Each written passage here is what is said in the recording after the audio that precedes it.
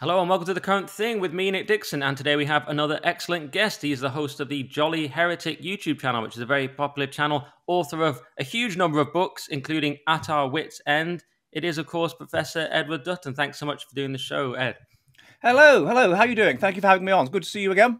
Yes, we met at the ARC conference. Very interesting. We were just chatting about how you met Jordan Peterson and were mesmerized by him. Indeed, indeed, I, I did. I met him at the some young persons do or something or other, and we, we, we queued up to be to be blessed by the holy man.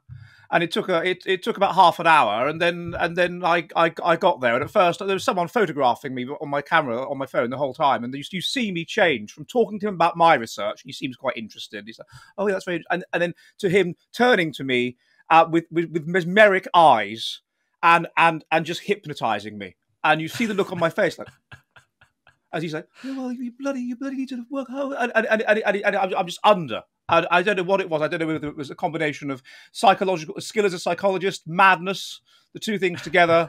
but it was it was Rasputin like. It was like those photos of Rasputin you see. This this this this stare that just took me completely under. I was so, uh, yeah. and then suddenly I had this weird desire to go and buy all his books. I don't know why. yeah, buy all my books, even maps of meaning even yeah, though it's really long and boring. Bloody, bloody, bloody, my maps of meaning, bloody buy it now. It was, it was, it was so strange, and I and I was kind of prepared. I was, in a way, prepared for it. I'd heard about it, and now I wonder if you know the Cathy Newman interview on Channel Four, where she basically made a made a made a tweet of herself and all this. So you're saying we should be lobsters, and um, she got a, got a, a terrib- terribly bad press and looked stupid. But I wonder if part of that was that she was hip. He had he had given her the stare. Yeah, yeah. And and she was she was thrown off because surely she can't be that illogical. She's got a chemistry degree. I mean, she can't be that illogical. Right. Make so, a fool of yourself on Channel Four. Oh, okay. Yeah, yeah, yeah. yeah. That's hilarious. Yeah. I think it's probably something to do with the power. shadow side. Hmm? It's probably something to do with the Jungian shadow. He's integrated his Jungian shadow. I bet it's that. It must be Almost. something to do with that. Yeah, he he, he, cast, he cast a, he cast a, a, dark shadow over me, and then afterwards, uh, when I was leaving that do, my coat went missing. So really? there, there, was some, yeah, there was some kind of weird. Peterson nicked your coat. Someone, some woman had a very similar coat to, to mine, a similar coloured coat, and she took my coat, and I was left with hers. I've heard that's what he uh, does. He mesmerizes yeah. people, then someone nicks the coats. Yeah, and that's how he makes a lot of his money. He's a huge collection of, of coats. The, the, the, Rule eleven: steal their bloody coats. Ah. okay, I didn't mean to start like that, but it, we, it's just always fun to talk about the great man. Um, I was gonna. we oh, got a bit of interference there. Someone got an old. Sounds like someone's got an old Nokia phone near the near the thing, or an old dial-up modem. I think I have an uh, quite an old speaker. Okay, we'll I'll press on. There's always something, and you're in Finland, Finland, of course, so it's it's a miracle that we're even doing this. It's a bloody miracle. But um, one thing I wanted to ask you about is you, your big claim. One of your big claims is that intelligence is going down. Right? It's around 100 average in the UK. You, you're predicting 80 by the end of the century, and you're saying this is basically going to mean societal collapse. And as I understand it, some people thought it was going up at one point because we were in kind of science-based culture, and so by certain measurements it went up a bit, but that was a, a sort of misnomer. And actually, you say it's going down overall, and you say we're selecting for the wrong things, and so we're kind of becoming thicker. Is that right? Well, I don't know if you can say we're selecting for the wrong things, but we're there's there's basically a fit. It's a that's a moral issue that's different from the science that's the fact. But it's a there's basically a fitness factor, and uh, we were selecting under harsh Darwinian conditions, which were under 1800, 50% child mortality, um, and we were selecting every generation for uh, fitness and what that for, for, certain things. What we were selecting for was that you're physically fit, you have good uh, physical fitness, so you have a, a, good immune system, and you you you you easily fight off disease. Uh, for mental fitness, you know, not being mentally ill or whatever, and also for intelligence, because there's evidence that intelligence is highly genetic, and that in under a harsh Darwinian conditions, intelligent people were more likely to accrue resources, get rich, their offspring are more likely to survive, whatever. So the thing the, the things bundle together, and you get a fitness factor, and we were selecting for that until strongly until about 1800, and then you get the change, industrial revolution, uh, the you know the, the, inoculations, better housing, cheaper food, all this kind of stuff, and so we st- and so we, we are no longer as strongly selecting for that fitness factor. So you get more and more people who would have died as children you know, in, in 1800, passing on their genes and whatever. And so gradually we just get we get the things are genetically correlated. Poor genetic, poor mental health, poor physical health, low intelligence. They're genetically correlated, and um, uh, on numerous measures, intelligence is um, is in decline. Yeah, and what you mentioned earlier that, that, that we thought it was going up. That's called the Flynn effect, and that was just that IQ tests are not a perfect measure of intelligence, and uh, they also measure other things, uh, specialized abilities that are that are weakly related to intelligence. Intelligence is a bit like a pyramid. At the peak of the pyramid, you've got general intelligence, and you've got the three verbal, mathematical, and spatial. And then at the peak, at the, at the base, you've got these specialized abilities like doing up your shoelaces or catching a ball or, or doing a Jordan Peterson impression accurately. Literally, pitch is associated with intelligence. It is. So pitch discrimination. Um, so that that kind of thing. And uh, what was happening was that one of these specialized abilities, uh, uh, the, the, ability to distinguish between different properties, basically, was being pushed up to such an extent by us living in a more scientific society, thinking in a more scientific way, that it overwhelmed everything else that was happening pushed it to its phenotypic maximum and came across on the IQ test as a rise. And then once that peak was reached, then you started to get a, a decline even on the IQ test and um, and, it was on the most environmental components of the IQ test that the rise was, and then the fall was on the, the genetic components. So yeah, we're, we're becoming genetically less intelligent, and I think you can see evidence of that all the time. I mean, just all the time. If you if you if you look at just popular TV programs and how dumbed down they are, even even since the the seventies or eighties, um, as as a portion of the population becomes less and less intelligent, and you get the kind of nonsense that we have on uh, uh either celebrity get me out of here or whatever, just total lack of logic. I mean, I think it's just evident we're getting less less bright. Yeah. Yeah, and you watch a, an old interview from a, a 1970s talk show, and it's always in, incredibly high level compared to now.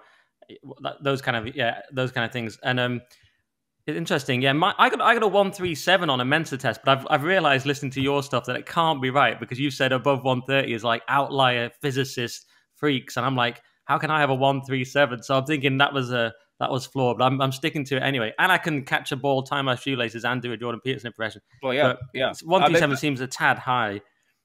Well, I mean, it, I don't know. I don't know how how uh, complicated was the test. Normally, if you do a test like that, you should take it and then take it again some days later, and you should take the average. So, um, there's, no, I'm sticking to my one three seven. Sorry. I'm sticking to my one three seven. You know, one three seven. I mean, one three seven is the is the sort of it's, it's a high it's a reason it's a highly intelligent person. It's the sort of intelligence of a, a science professor or something like that would, would be about yeah. that on average. So yeah, I, I, don't know that it wouldn't be that, but um, um, yeah, it, it's that's perfectly it's perfectly conceivable. But that's that's yeah, that's high. That's top sort of two point five percent of the population. Yeah, it must have been too high. I'm, mine's totally weighted towards verbal as well and, and word based stuff. So the words always seem insultingly easy to me. I'm like, this is ridiculous. He's Like, it's like and, but then the shapes and the and the and the numbers. I'm like, all right, chill out, guys. So I'm I'm much more weighted because you can be weighted towards one side, can't you? yeah, yeah, I, I'm the same. I'm much I'm highly verbally tilted and um, you and you meet meet these people that are uh, professors of physics or whatever, and and they're they're really not very good at writing. They're, they're, they're very intelligent and they come up with brilliant ideas and stuff, but then you know they're not that good at presenting the ideas. Right. But similarly, you're going to get people who are who are quite verbally skilled, really quite verbally skilled beyond their intelligence, if you like. So they'll they'll come across because they're verbally they're verbally skilled and they know lots of big words. Uh, they'll, uh, they'll they'll they'll come across as much more intelligent than they are uh, really, uh, in, in, terms of if, if, intelligence is solving problems, the ability to solve problems, then they won't be that good at solving problems, but they'll just be good at coming across as clever, you know, coming across as as yeah. a, a, a, poser, as highly intelligent. I think that's the one I'm doing. Um, so let's uh, let me ask this other question. So when we have this sort of collapse, you're predicting we'll end up in a kind of what you've called a neo Byzantium which is sort of, as I understand it, it's kind of society collapses, but then you have sort of pockets of, of uh, where society survives. Uh, but what, what will that look like? Will it be a kind of physical space? Will it be online? What do you mean by that? Um, well, it could be a combination of both, assuming that we don't get so stupid that we can't sustain the internet, which which could happen, and then then there is there is no online. But if you think about what happened with Rome, there's quite good evidence. We we did a study on this recently that Rome rose and fell due to changes in intelligence. So you have these at the beginning of, of the Roman civilization, they're under harsh conditions. They're selecting for intelligence. They're getting clever. The, the, the intelligent are more likely to survive because intelligence predicts wealth and accruing resources and you know winning the battle basically. Um, and so they get more intelligent. You, you, then get the rise of Rome. You then get well, they didn't get an industrial revolution, but you get you, you get standards of living get really high. You get the loads of grain and whatever, and uh, the, the the dole and and central heating and, and stuff like this. And the selection pressure is then weakened. Um, and something seems to happen as well uh, uh when when that happens, when mortality salience goes down. Um, intelligent people seem to stop wanting children, to stop wanting them and that was commented on in Rome again and again and again. That that, that uh, the sort of the, the, upper class of Rome were not having children, and they even passed a law to punish under Augustine to punish upper class men for not having children uh, with a special tax, and they paid the tax. And you see this happening now. There's something, a dysphoria that's called where our evolutionary match is to be uh, surrounded by death, basically. And if we're not surrounded by death, then our instincts don't hit in. And if you're more environmentally sensitive, which intelligent people seem to be, they're more sensitive. That allows them less instinctive. That allows them to solve problems and whatever. Um, then, then the, the, instincts don't hit in, and they stop having children, and they do weird things. Um, and then the IQ goes down. But it, but Rome didn't completely collapse, not completely um, what happened was that you, you got among you know, during the collapse, you got people that were um, quite religious and quite intelligent, and they seemed to band together uh, and and into into Byzantium basically, where where civilization sort of held out, uh, kind of, you know. So it was increasing Dark Age chaos, but there was this Byzantium where it held out, and similarly, what we found in a book I did called The Past is a Future Country uh, is that if you look at just the more intelligent people, the top IQ quartile, then among the more intelligent, the big predictor of sterility is that you're liberal and that you're irreligious, you're atheist. And the big predictor of fertility is that you're conservative and you're religious among the more intelligent. And the more intelligent are those that tend to build things and lead things and whatever. And so what you would expect would be a, mo- a movement um, uh, where- whereby there would be a, a breaking up, like a coming apart, a genetic coming apart, essentially. Because a political viewpoint is highly genetic and intelligence is highly genetic. And so there would be this, this breakup, almost like speciation, where people, and I think you see this, and I think you saw the beginnings of it at ARC, where all the everybody under 25 or under 30 who's conservative and who's intelligent in London seems to know everybody else like that. And they're and, and, and they're and they're dating each other and they're having children together and things like that and, and, thus sort of continuing uh, the, situ- the the situation um, through, through through assortative mating. Uh, and the whole the whole woke thing is is forcing people a, a, polarization whereby you know you, you, as a conservative will breed with other conservatives because you can't have anything to do with left wing people anymore, um, and and it's creating a sense of a sense of identity and a sense of being under attack because you're conservative, and all of this brings about a sort of separate group, a separate polarization, just like happened last time with with with Byzantium uh, between pagans and Christians and whatever. And, and I, and I think you would expect those people to start to move to places where they could be with other people like them physically. Uh, yes, online it's already happening. Mean, it's huge online. You could argue that the internet I mean, helped it to happen. Well, when, when we were kids, you know, you, you, couldn't meet people on if you were conservative, and there weren't many people that openly were. You couldn't meet other people like yourself. How could you do that? you, well, that you, you, you had right. to rub along with who was around, and, yes. and who was around was people that were overwhelmingly, at least when I was you know, 20 or whatever, overwhelmingly supporters of the Labour Party and whatever. And you just rubbed along with them. That's what you had to do. Now that's not happening. There's, it's decreasingly happening. There is this change whereby there is this there is this polarization. It's creating separate societies. And what you'd expect is for those people, as the left becomes stupider, as you get what I call the Rayner effect, the Angela Rayner effect, the stupefaction of the left, um, and the uh, right become become stupider but less quickly um, then then those people will will there will be a shift in society, and those people will start to take power in a context of deterioration, in in a context of balkanization, in a context of breakup, and you can see them, you know, as England breaks up and other places break up, this this Byzantium, uh, this this this area where the intelligent conservatives who the ones that are concerned about civilization basically and aren't just low IQ or, or just just decadent with a death drive uh, where they where, where, where, where they go. And it's something like that happened last time, and it seems to me that this could happen again. Wow. So yeah, the neo neo Byzantium could just be um, yeah, lots of conservatives led by Jordan Peterson in a kind of ARC movement. Um, that's interesting. Um, yeah, and certainly what what you said fits in my anecdotal experience. The people I've had on this podcast, uh, Will Nolan being a Catholic with seven children, and we had a Mormon who had six. Although I, I'm, I'm sort of bucking that trend, living like a loner. But that, it's interesting. Do you think this is a slightly off the wall question? But do you think people have always always had a sense that the world is ending? I seem to recall something in I can't remember if it's Seneca or something. I can't remember now, but there was a sense even in ancient literature that the world was already ending. I mean, do you think it just actually society is collapsing now because of your findings, or do you think people have always would always have a sense of sort of impending doom? I think that um, societies go through cycles, which are which are relatively predictable, and at certain points in that cycle, including what when you're talking about, so when they become self Seneca, whatever. So when when they become almost like self-aware as a society, then you start to get this sense of gloom and doom and that the world's ending that that uh, that, that hits in. Um, so a society can almost be seen to go through seasons and when it's young, it's spring, it's it's uh, it's primitive. They're just about surviving. They're surrounded by death. They're under harsh Darwinian selection pressure. Uh, there's 50% whatever child mortality. They're highly religious. Everything is caused by God and whatever and is God's will. They're not really self-aware. They're just they're just sort of getting on with life, really. Um, and then the society sort of de- develops a little bit and moves into what you might call the, the summer, where it starts exploring, it starts moving outside itself, it starts building empires and whatever. Um, and eventually it gets to a point of sufficient, if it, if it, builds up, in my view, because it's selecting for intelligence every generation, um, then it, gets to a point where you have either an industrial revolution or something like that. You, you, you have a or proto-industrial revolution where, where, where mortality salience is reduced. And once that happens, you, you have a class of people who are able to think, who, are, who aren't concerned all the time about death, who are able to sit back and think. And that's an evolutionary mismatch. We're not supposed to be like that. That that's a dysphoria. That's like being in a zoo.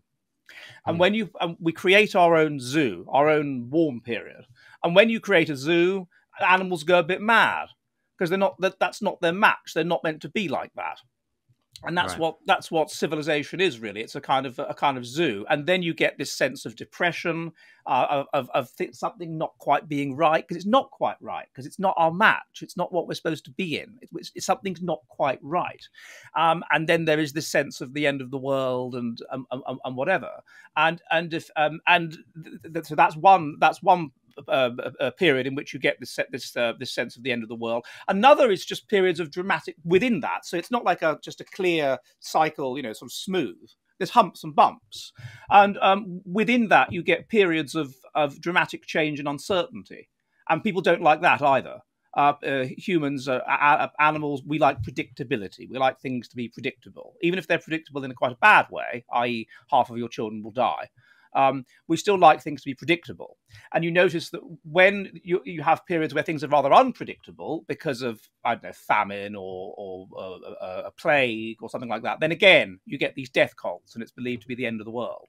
So there's these there's these these two kinds of period that do it. It's it's high civilization and it's just high unpredictability, which are things we as an animal we, we don't like. We're we're we're evolved to we're a, a slow life history strategy animal. We're evolved to a, a situation that is harsh yet predictable. That's that's our match. That's our norm. And um, if you take that away, then then we start to go a bit bonkers. Right. Yeah. And and is that and is that also tied? Yeah, and, as you said, it's also tied to birth rate because, as you said, wealth is an evolutionary mismatch. So when we get to a certain level of economic development, we see it all around the world. We just stop having children in mm. Japan and. and it's very interesting. So it's very interesting. There's studies on this that show that um, uh, if you if people are exposed to mortality salience, i.e., fear of death, um, they want more children, um, and they see children as less expensive which mm. helps to explain why, in the wake of World War One and World War Two, you get a baby boom. You get a baby boom in the wake of war because because because people have been exposed to death. And similarly, if you prime people, it's this psychological technique I'm sure Jordan Peterson would know all about. If you if you if you you know put them under, hypnotize them with your with your amazing Jordan Peterson eyes, you know, and and then and then make them think about death then they want more children. They see children as less expensive. They're more inclined to want to name children after themselves, so to obtain a kind of symbolic morta- immortality, if mm. you like. Um, so that shows you that our our instincts, our normal instincts, are induced in a in a situation where we are surrounded by death, and of course that, and even even they when our our grandparents or whatever, or certainly great grandparents were children, a lot of them would have lost a sibling as kids, and would have been aware of that. Like my grandmother had some vague memory of a brother called Richard, very vague memory. She just vague memory, and and it turned out she did. She had this baby brother that died. Uh, she didn't even know that consciously, but she had this vague memory of it.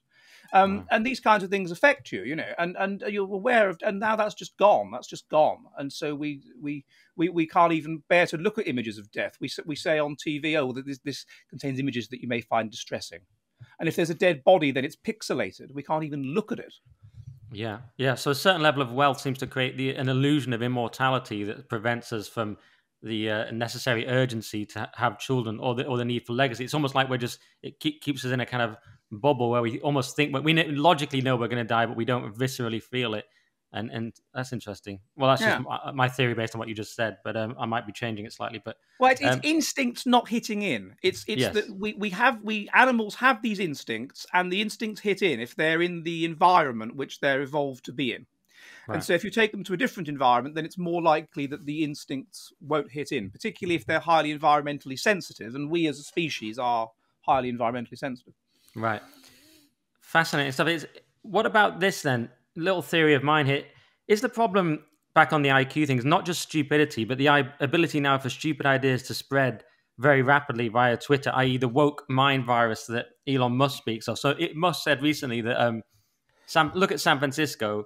Look at what a, how disgusting it's become, and endless homeless people and crime, and just the degradation. And he said, and now imagine taking that ideology and exporting it to the world via Twitter, and that's what we have now. And that was an interesting way of putting it. But it made me think: Are stupid ideas now spreading much more rapidly? And on on the flip side, is the tech actually causing stupidity? For example, let's say people make a mistake online and then everyone suddenly replicates it. I've noticed people saying bias a lot when they mean bias, or that might have started in speaking because they sound similar. But whatever example, you see a stupid idea online and then everyone replicates it very quickly and it can spread much more quickly. Is that a factor? Um, in what in in in what factor in what? In in the sort of general decline of yeah, I think I think so. I think well, the, the way I would see it more broadly is that um, even even though we had this this this we were until quite recently a highly group oriented society, and that's adaptive. The group that's group oriented is more likely to survive. So what you have to do is you have to get the members of the group and you have to you have to put them on the adaptive roadmap of life. And so you promote things like having children as a good in itself, and you promote things like religion and the religion saying that we are God's blessed people and we have to fight and lay down our lives for the society and, and, and so on. Now, at some point, uh, probably in the 60s, I think we had we had a build up of these of these people that we were adapted to be people. We evolved to that, and so the collapse of Darwinian selection will have meant more and more people that are basically selfish, that are individually oriented, that are out for themselves, that are narcissists, basically. And I suspect that a tipping point was reached probably in the sixties when they were about twenty percent of the society, and then we flipped over very quickly to being not concerned with the good of the group, but being concerned with the good of the individual, to being individually oriented, to being concerned with harm avoidance and equality and then once that happened, you have runaway harm avoidance and runaway runaway equality, and and those things trump everything else. They trump uh, they, as it becomes too extreme. They trump logic and they trump reason. So I suspect there was a, there was a period there was a period you know let's say in Victorian England where you had the upper, other way around runaway group orientation, um, and that and that um, uh, suppressed logic and reason as well, and then that begins to decline and then the, the new the new doing, way of doing things, the proto woke way of doing things, begins to rise. And there was probably a period between the two where where one was one was falling and one was rising, and you could be optimally intelligent. You know, you weren't dominated completely by one set of religious values dominating everything you do, or another set of religious values dominating everything you do. And that would have been a period of, of very high creativity and uh, and and you know, I think frankly, really good comedy.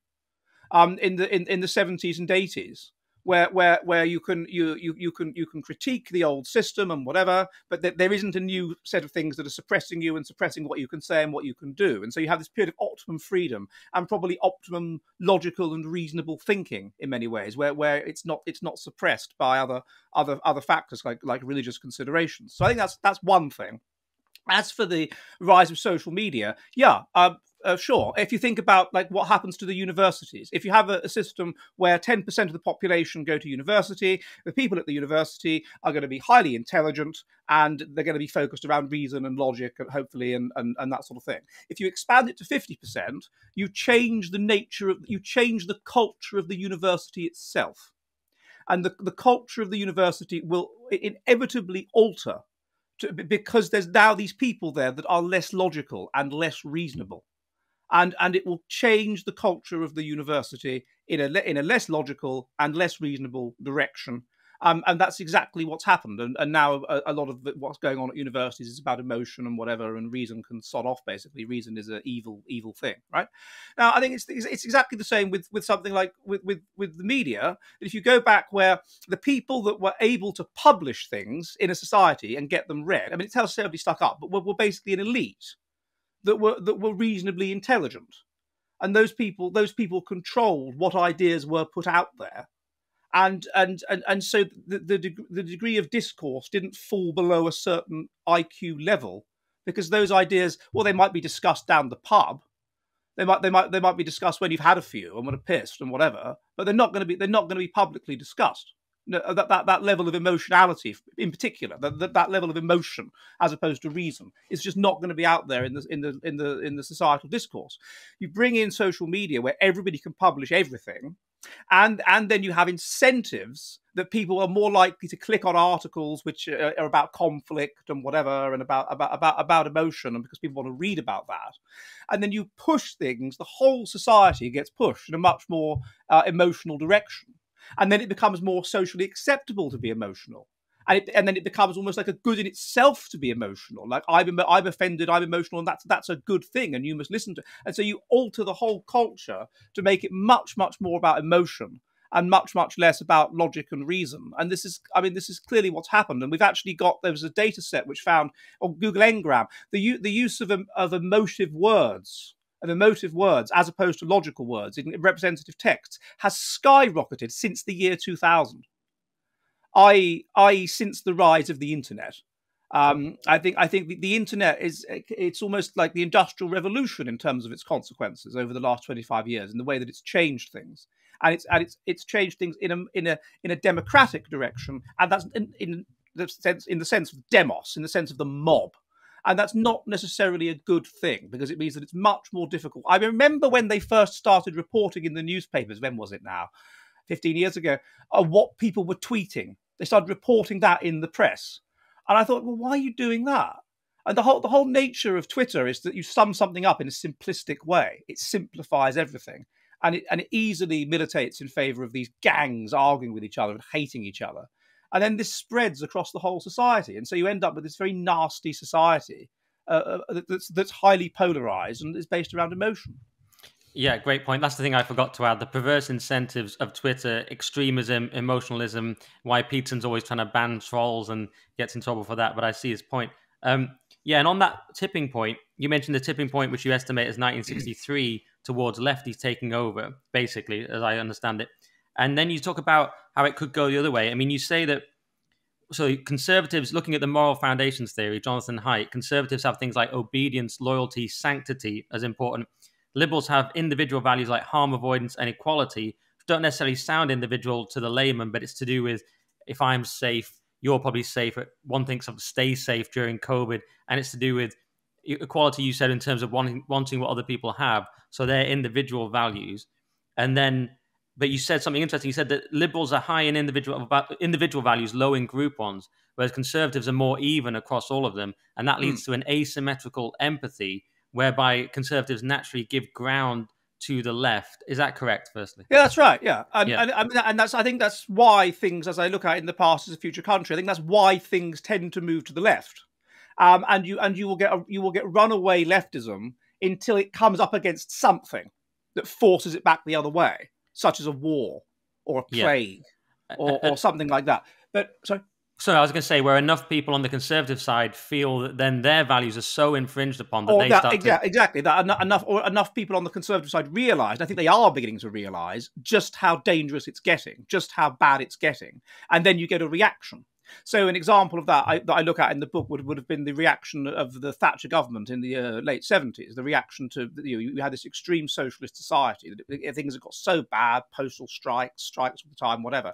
And so finally you get, you get a reaction. And then you got AIDS, and and and that that's the the disgust, the sanctity v disgust moral foundation, which was set off. And so, of course, then that pushed us in a very right wing direction for, for quite a while. That's what it came up against. There was a serious, a serious, genuine problem that you, you can't just have runaway individualism in a context like that. But yeah, that's true. Otherwise, yeah, the the the, the two sets of foundations. One is that you're group oriented, you're out for the good of your group, um, but you are also concerned about things like equality and harm avoidance. Of course, they matter to you. You know, of course, they matter to you. You don't like seeing babies cry or whatever. Um, but the other is people that are just fundamentally selfish. What they are about is getting to the top of the group. They are they are Machiavellian. And if they are physically weak or whatever, or fear a fair fight, and there is this correlation between leftism and neuroticism, i.e., with men, you know, mental instability, you know, low self whatever, uh, then um, the way that you get you get to the top is by is covertly, is by virtue signaling, by by coming across as saying, "Oh, I'm really good. I'm so good. I'm such a morally good person." But you're not really. You're actually quite a morally bad person uh, in terms of how you behave and, and you know, how you treat other people, but you want to come across as good, and so you virtue signal. But, but yeah, what it all means is that the, liber- the, the, the liberals cannot comprehend the conservative interest in group orientation and whatever. That's meaningless to them. They don't understand it. But the conservatives can understand the liberal interest in harm avoidance and inequality.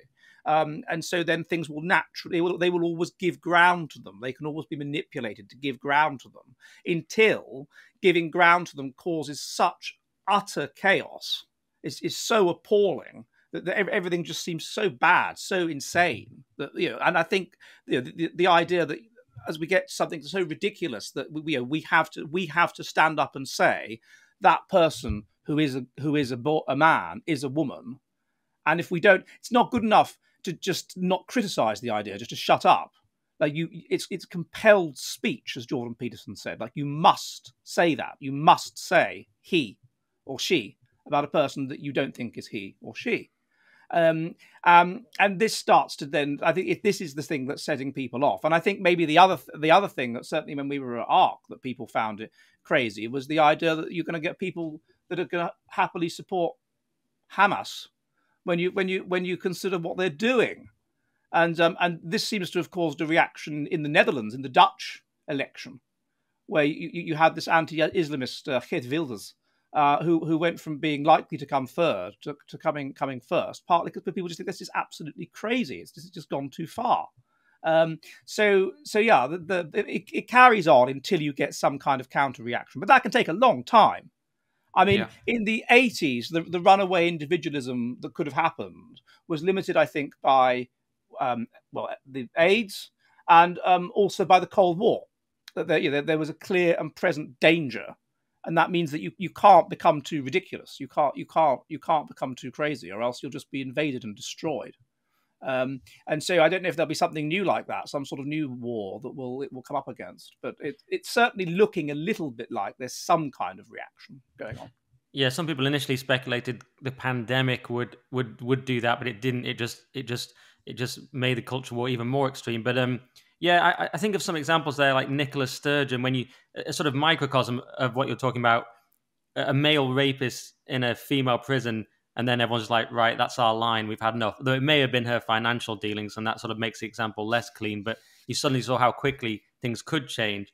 But there's loads of things I wanted to pick up there, and I wanted to get onto Holland later as well. But I wanted to quickly ask though, you've also talked about though how this can go back the other way and become, as we're talking about, it can tip towards becoming conservative again but you warn that this, I think you warn that this might not be that pleasant either. It could be a quite a puritanical, Taliban esque conservatism we could go into.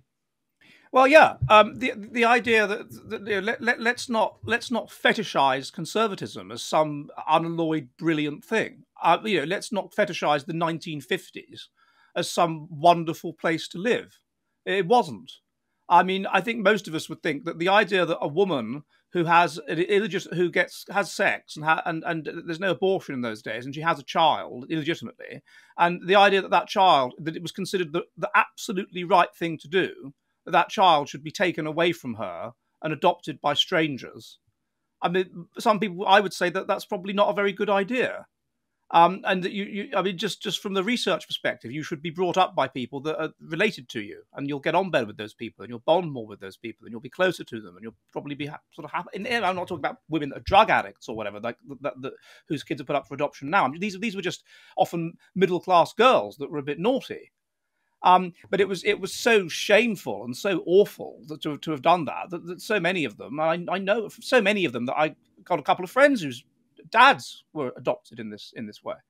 Um, uh, now that's not, you know, that's you think of God, no, that's that's not good, is it? You know, and and and there are there are, there are many many things about a, about a highly conservative puritanical society. I mean, as I said, I think we did we discussed when we met. If you think about, um, I don't know, a group. There was a group that I did my undergraduate, I did research on many many years ago called the Christian Union, and if, um, if, you went to university in the UK, you may have met a group called the Christian Union. Now, they, they come across, they're, they're very nice people in my experience, very kind, very pleasant um, sort of people. But there are definite borders of behaviour where if you if you if you cross the line, then you you homosexuality, for example, is totally and utterly unacceptable, completely unacceptable. Um, and and if if you are gay, then what these people will say to you is, well, you that's the devil tempting you, basically and you you you you find a way to suppress that because that's not accept that's not on. Um, uh, and other lots of other things like that.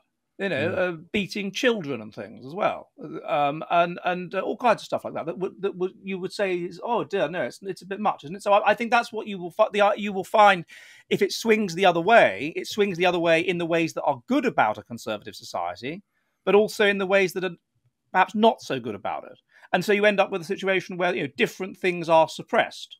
So, for example, I I do you know research with people, um, uh, academic journals, whatever, in, in the UK, and there are certain things you know what they are, certain taboo things, which they'll say, oh, well, we we, we, we won't look into that. We, we, we, we better not look into that. You know, better be careful there. Better, better not look into that. That might be going a bit far. Better not look into that, right? Well, similarly, I do research with uh, people in in the Islamic world. Now, they're perfectly happy to look into those things They've no problem there. The other issues, i.e., any critic- anything that relates to Islam, uh, no, we can't talk about that. Even if it's highly relevant to the study, mm. we can't talk about that. So you, you, you just get different taboos. And I think that's, I'm afraid, what would probably happen if you had a, a swing back to conservative. You just get different taboos.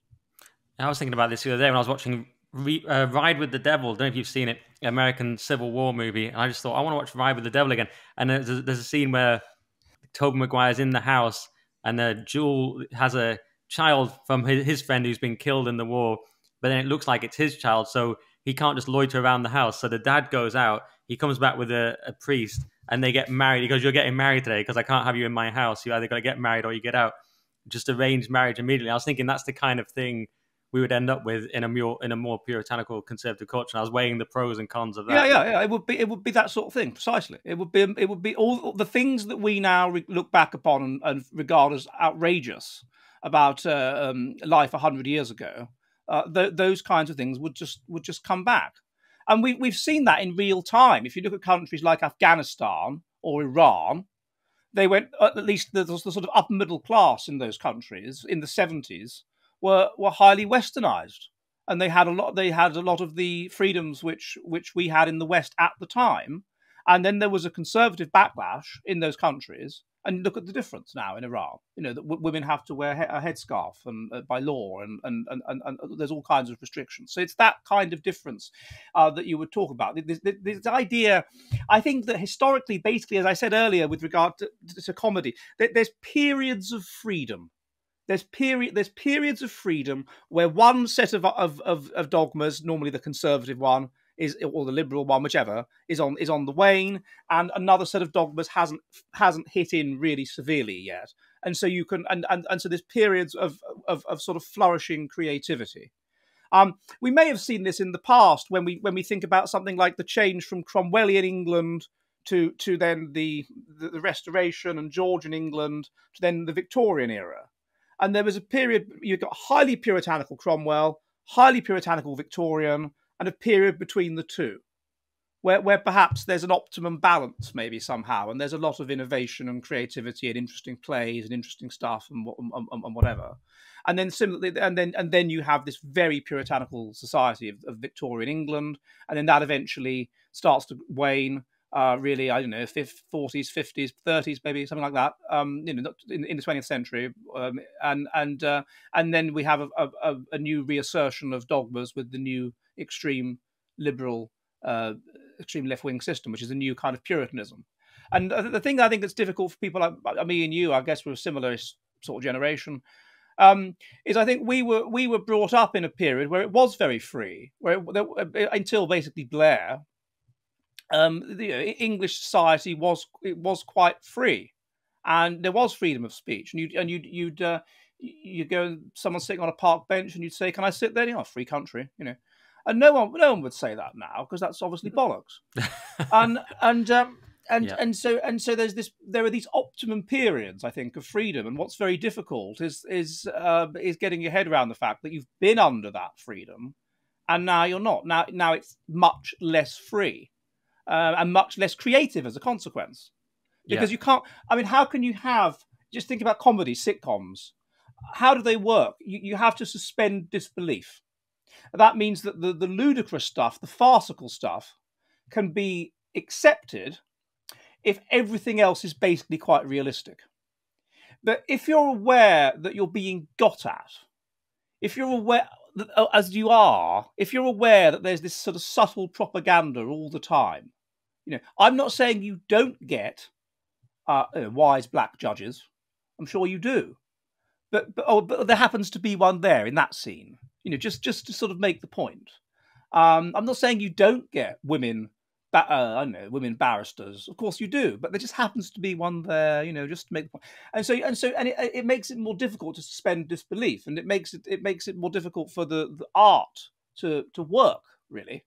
Um, in much the same way that if you go back to the 40s or whatever, um, oh, well, so- suddenly we have working class people and they all speak in posh accents and, and nobody swears and, and, and whatever. It, it's it's propaganda, it, and that's what we've moved. We've moved back to that. I think we've moved back to a everything is everything is flavored with the with the sort of uh, religious uh, religion and the dogmas and the ideology of society. And there was this period, this wonderful period, I think, where that was just less obviously so, where where uh, comedy reflected back at you what your life was like, but but in a in a in a in a funny way.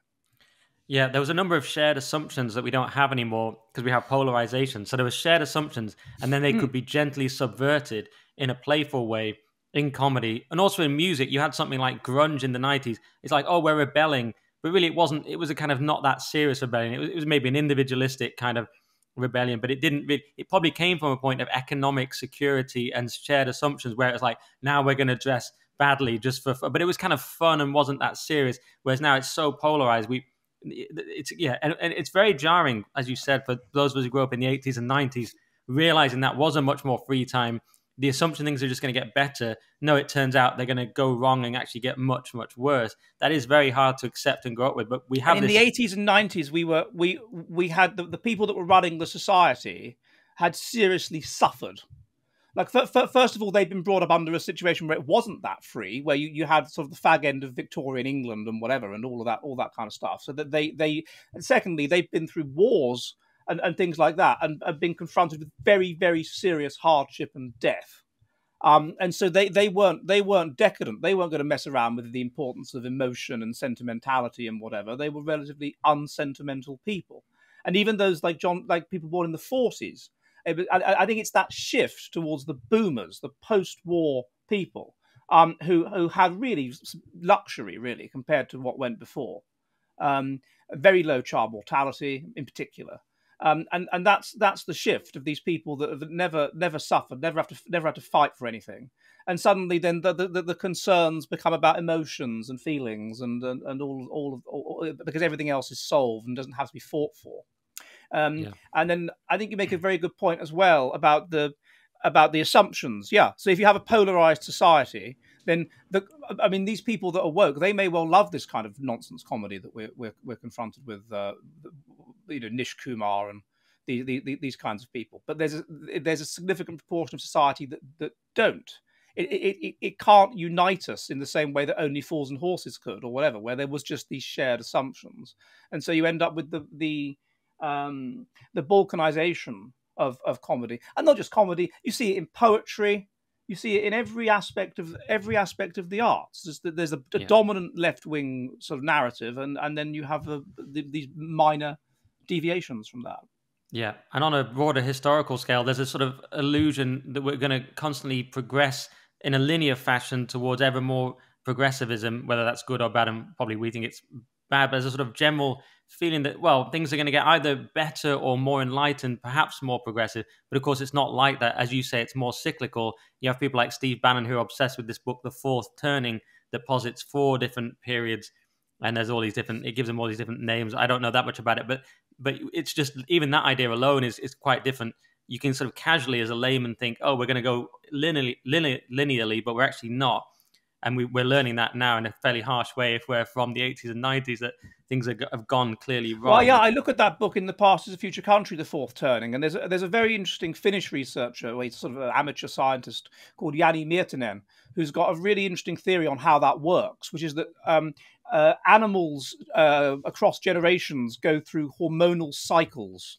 So each generation will be slightly higher or lower in certain hormones than the previous generation for a set number of generations.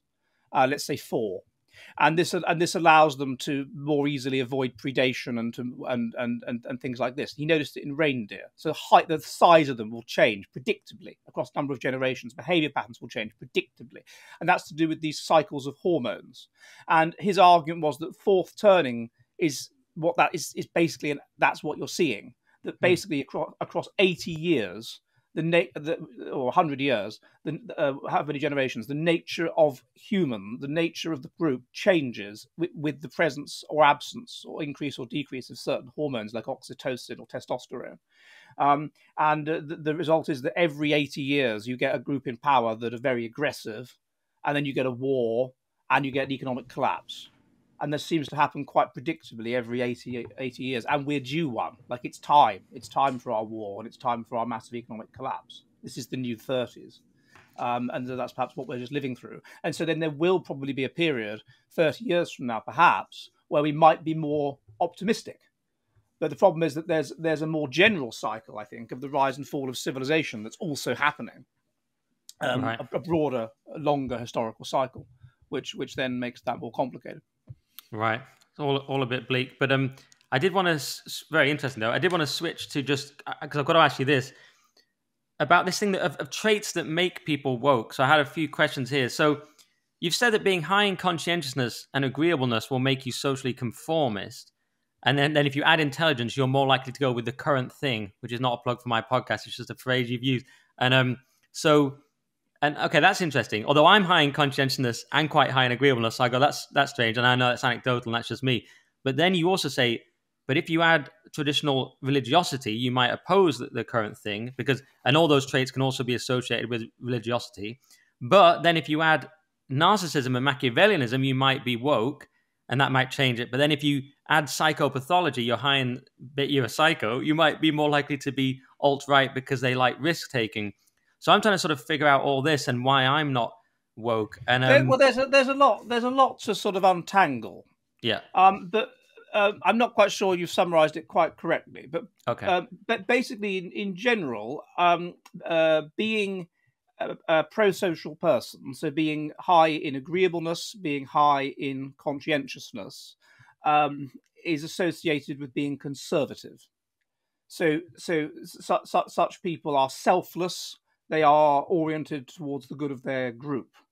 Um, being a, a, so, a, an extreme social conformist, which would make you want to be woke in a woke society, or make you want to be a sort of church lady, you know, uh, uh, in a in a Victorian society, that's associated with neuroticism. So people that are high in social anxiety, uh, those people tend to be high. Those people tend to go through. So they tend to be socially. They tend to be high in extrinsic religiousness, i.e., strong social conformity. Um, and they also tend to go through periods of religious fervor. Periods of religious fervor. Whereas people that are low in neuroticism, um, people that are mentally stable, um, those people tend to have a very sort of positive view of the world and whatever, and they, they tend to just be religious in a kind of normal way. Now, that may also be because of what I was saying earlier about pleiotropy, about traits which are adaptive becoming correlated together. So we will have been selected across time to be agreeable, to be conscientious, and to be mentally stable. We also would have been selected to be religious because religiousness makes that takes that as adaptive and makes it into the will of God. It's associated with fertility. It's associated with mental health. It's associated with physical health. It's associated with uh, group orientation. It's associated with all kinds of positive things. So you would expect a pro-social personality for that reason alone. To, and also, you've got a little homunculus on your shoulder saying "behave well," so you're less likely to be cast out by the group. So that that you can see how that would then end up going together with with being um, being religious. Um, as for um, so in general, basically conservative people pro-social uh, and liberal people antisocial traits, um, and mental instability. Now, one thing you can do if you're mentally unstable is you can tell yourself you're anxious, you have low self esteem, is you can tell yourself, oh, I'm superior to everybody else. It's a very easy thing to do. I'm superior to everybody else. So then you have a kind of vulnerable narcissism where you create a sort of false sense of self and you say, oh, I'm wonderful, I'm perfect. And then you get narcissistic supply, if you're woke, by people saying, oh, you're so woke, oh, well done, you know, and, you, and, then, you, and then you competitively signal your wokeness and then you're more woke than the last man. So you can see how quite narcissistic people will be drawn towards that, and that would potentially be mediated by um, you know, being mentally un- low, mental stability, or just being uh, uh, selfish, basically. Um, and then similarly, Machiavellianism. Well, that's being power hungry. So if you if you're fearful and uh, you see the world as a dangerous place, you'll want to take power over it, take control of it. How do you get power by being woke? Maybe so you can see how those things go together. Um, but yeah, psychopathology. Um, well, that could that's about you're just utterly selfish person. You could go you could go different ways. It could be that you're uh, highly you're so you're so psycho you're high in psychopathology. You're attracted to danger and being sort of far right or whatever is dangerous, and so you you like that. On the other hand, it could be that you're high in psychopathology and you're utterly selfish, and therefore you reason, oh well, I'll, I'll be I'll be super woke and um, whatever. But the the, the, the data indicated that, that yeah that that, that um, it was alt right was high in psychopathology and it was woke that was Machiavellianism and narcissism. So it's a sort of subtle subtle array. Uh, of, of, different threads that uh, make sense of the different personality types involved. But ultimately, it seems to me to be overall, overall, um, those that are uh, right wing are more pro social, um, those that are left wing are less pro social, but those that are extremists those that are on the very very far right, they're they're also at sort of um, some extent antisocial. Right. So that's the data. And just in my own case, I was thinking about it, and I get very low, basically zero psychopathology and Machiavellianism. I get a touch of narcissism on those tests, but only a normal level for a comedian and TV presenter. So, um, but I always, I've always had, but I do get high neuroticism, unfortunately. But I was thinking about this and going, can't one argue and advocate against one's own flaws. So although I get I've got anxiety problems, I don't advocate it, and I advocate family and things like this. And Jordan Peterson, to an extent, does this too. He doesn't say go and go to a Russian hospital and get addicted to ketamine or benzodrine or whatever it was. He advocates certain things. So can you also just advocate? You don't necessarily go with you know your own traits, and just you can actually advocate against your own traits. Is that a thing? Um well, I, I think it, it's uh, the, the, way I would uh, the way I would see it is that it, it's if if to, if to overall a person that is high in anxiety could could be expected to be uh, uh, left wing. That's what the data would indicate. But if that is coupled with, let's say, extremely high agreeableness and extremely high conscientiousness, for example, then that could be sufficient to outweigh the anxiety um, and push the person more towards being right wing. Or okay. if that was coupled with very high, very very high intelligence, like outlier high intelligence, like you apparently have, then um, then, then then then that might allow them to reason that uh, I don't know a moderately conservative society was quite a good idea, and therefore not be pushed towards the left for that reason as well. So I think it's a balance of different traits. So, for example, uh, a genius that seems to be outlier high intelligence combined with low conscientiousness uh, and low agreeableness and quite high neuroticism. But you could get all kinds of, of, of permutations within that. So, for example, by all accounts, Charles Darwin was a very agreeable person. He was a very kind person. Um, but he was also very low in conscientiousness, and his his uh, office looked like a bomb had hit it. So, so you get these balances, I think, and that could perhaps that could perhaps uh, explain why a person, also as you say, could, could be sufficiently could, could have those traits and understand that they do, and and not be kind of not be um, not be drawn into their general consequences in terms of politics.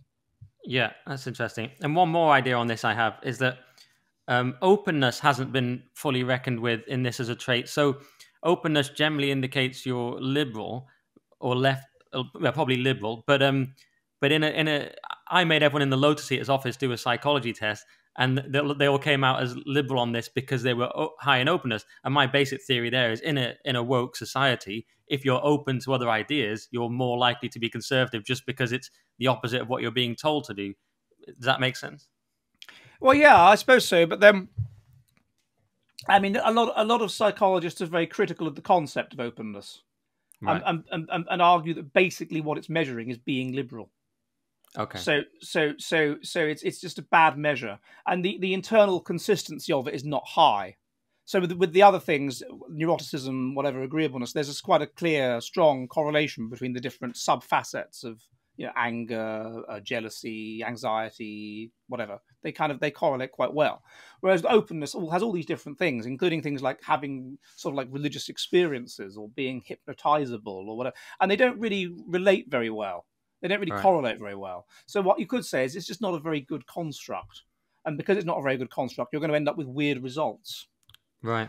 Because I've been looking at it in terms of things like aesthetics and and art because I'm a sort of creative artsy person. So I'm looking at it and so I tried to write a piece on this called Confessions of a Conservative Rebel, where I was trying to understand why, for example, my brother and and some of my friends in my football team are kind of incredibly conservative, small c, and they've got two or three kids. They've had the same job since university and so on. Now they have extreme left beliefs because that's the de rigueur or whatever. That's just what that's just their social set.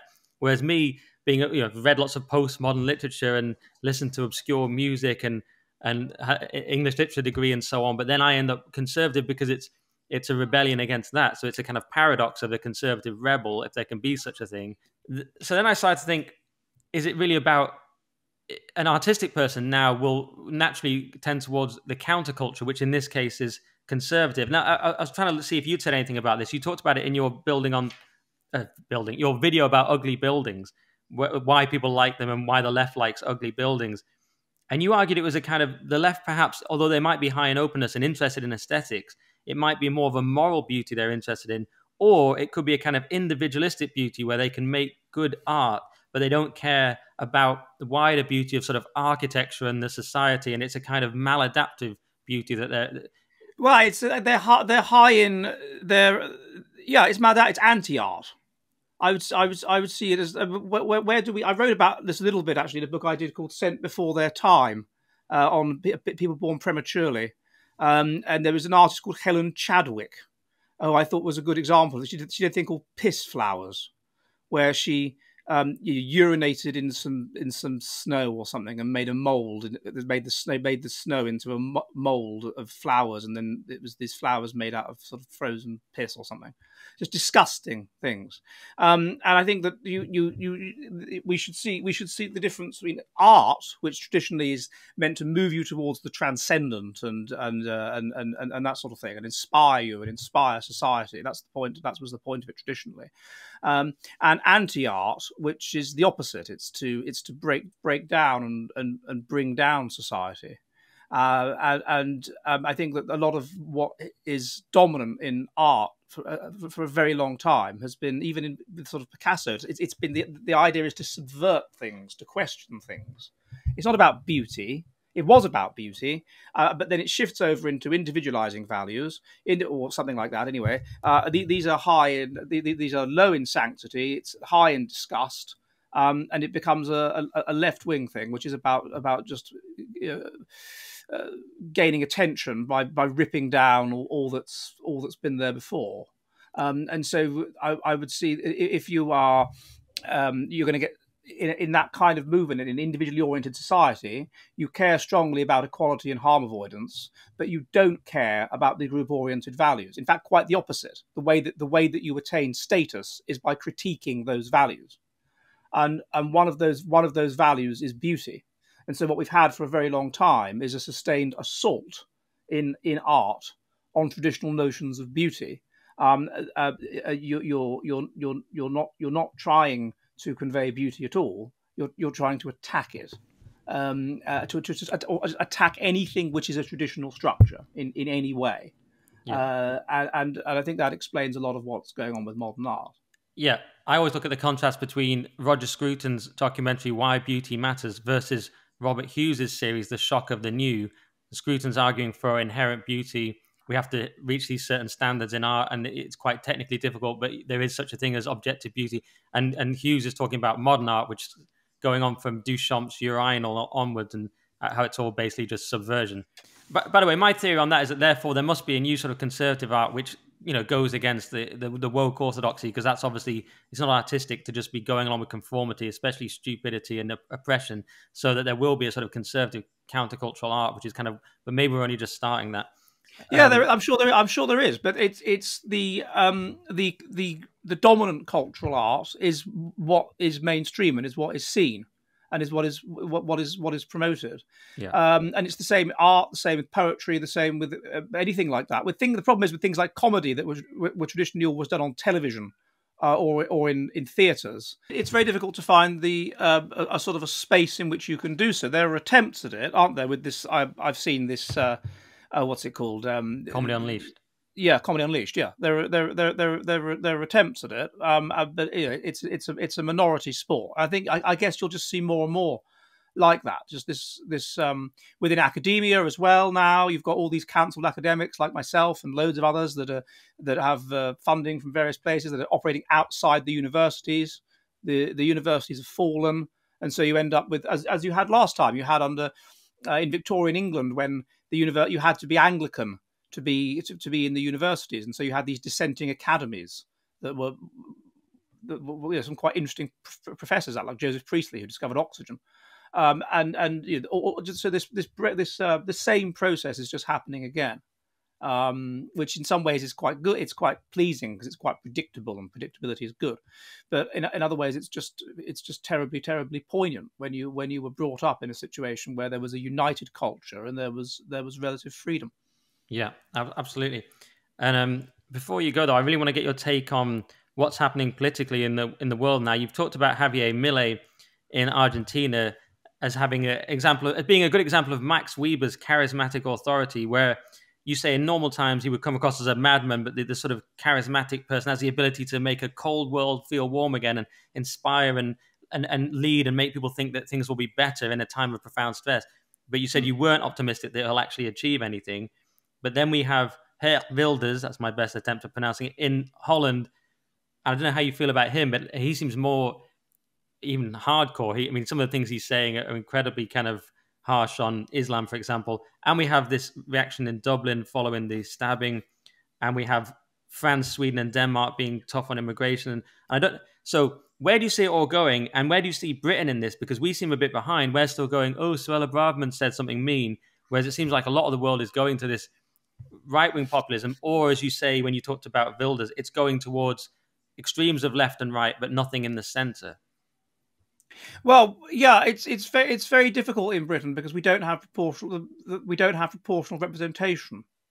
So the the only way that the um, these kinds of voices can pressure is is from is from is from without. Is so, for example, the reason why we got the Brexit referendum was because of the pressure that UKIP was uh, uh, was putting on the Conservative Party in terms of possibly losing seats to Labour by splitting the vote. So we have this much more complicated way, a much more, um, in many ways, undemocratic and unfair way. And so this this holds us back. This means that, that politically, it's much more it's much more difficult to get anything like a, a Geert Wilders situation. I mean, I can completely see that if we had proportional representation and people thought that at, every vote counted, as in in Holland they have pure PR. It's just one list nationwide, um, you could see that Nigel Farage could get thirty percent of the vote. I could see that happening, um, but we don't, we don't, we don't have that system. So I think that's one of the things that means that we're we're um, we're behind.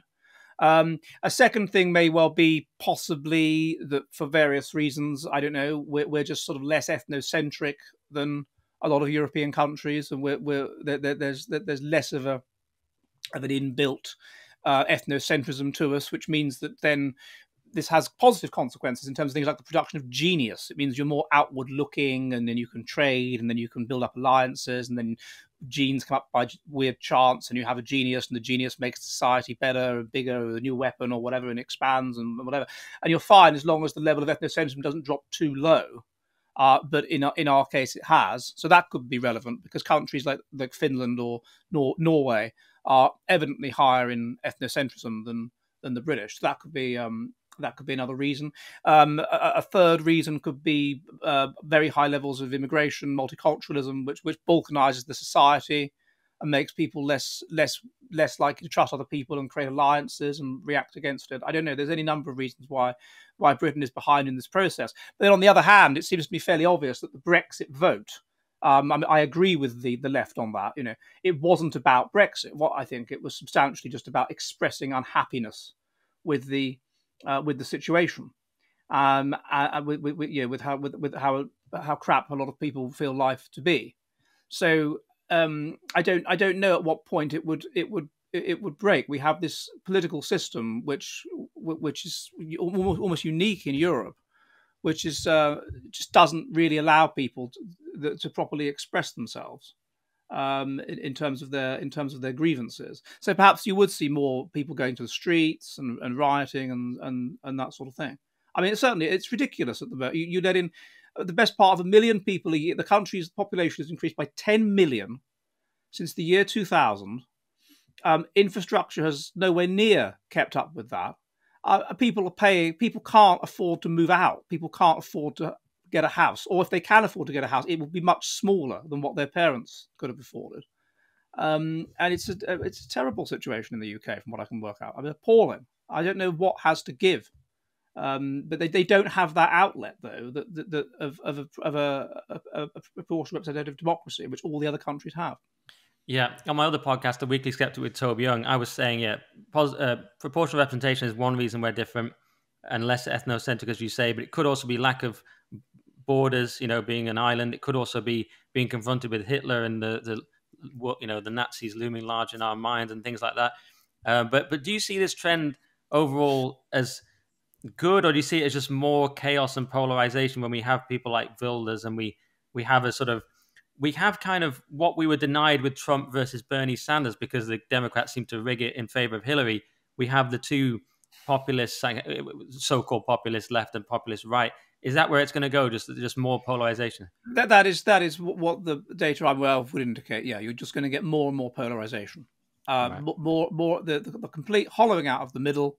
The, the, the, thing they used to talk about in the 90s, you know, the the or late late 90s. Oh, there's no clear blue water between the Conservatives and Labour, and they, they didn't they didn't there are no differences in what they really believe, and they're all basically advocating the same thing. And that was true in America as well, with Democrats and Republicans, and and that's um, that's changed so much since. And yeah, you're you're, you're just it, it's a, it's this like you had in the 30s, po- polarization between between two extremes that hate each other, and eventually, if that carries on, then you get war, civil war, um, or you or you get some sort of secession, some sort of breakup or you get a, a, sort of de facto breakup. So just people retreating into sort of de facto little microstates, um, which is already kind of happening in parts of England. Really, I mean, you, you you've got parallel lives lived by, by, let's say, for example, the native population and some Muslim populations in parts of northern England. They're just parallel societies. They're set, de facto separate, um, uh, or parts of even parts of Northern Ireland in the past that weren't really under the control of the government,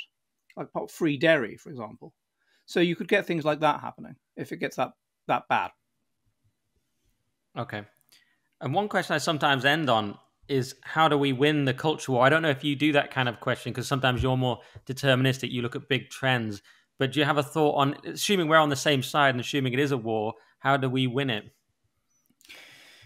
Well, I, my optimism is the is the is based on the breeding patterns, which is that among the more intelligent, the big predictor of of uh, fertility is is conservatism, and so and so you you win it by a you know, having children, uh, by by by being uh, not not constantly critiquing the other side and saying how terrible woke is. Of course, it is, but by having a, a, a clear a clear sense of what we want, what what is positive about the conservative side a sense of eternity, um, a, a, desire for freedom, a desire for creativity, uh, a, a, desire for order and structure, and, uh, and, and, and for the preservation of our own basically our own people. Um, how else can I put it? That doesn't mean that you have to say uh, have to have a sort of racist policy. Our, our own our own people, meaning the core of English people, plus uh, intelligent conservative people that will tag along from all groups, and then you're going to get this this assortative mating as well, whereby people end up with this strong group orientation, this this